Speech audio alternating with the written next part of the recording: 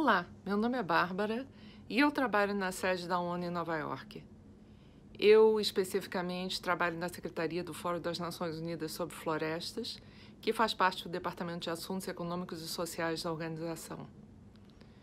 O que eu acho interessante sobre a ONU é que o ambiente de trabalho, por si próprio, já é um, uma grande fonte de aprendizado, com pessoas de todas as nacionalidades, com uma imensa diversidade cultural.